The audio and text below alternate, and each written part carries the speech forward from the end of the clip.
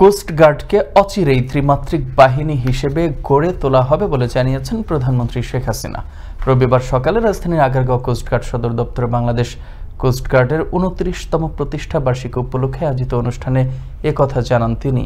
বলেন, জাতির পিতাই প্রথম সমুদ্রসীমা আইন করেছিলেন। এ সময় দেশের একটি মানুষও ভূমিহীন, গৃহহীন থাকবে না বলেও উল্লেখ করেন সরকার প্রধান। সুনীল অর্থনীতির বিশাল ভাণ্ডার মজুদ রয়েছে এই বঙ্গোপসাগরে।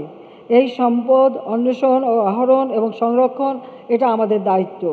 এই সমুদ্র সীমায় আমাদের যে বিশাল সম্পদ রয়েছে, সেই সমুদ্র সম্পদ যাতে আমাদের অর্থনীতিতে কাজে লাগে, সেজন্য ব্লু ইকোনমি বাস্তবায়ন আমরা করে যাচ্ছি। তাছাড়া সমুদ্র গবেষণা ইনস্টিটিউটও আমরা প্রতিষ্ঠা করেছি।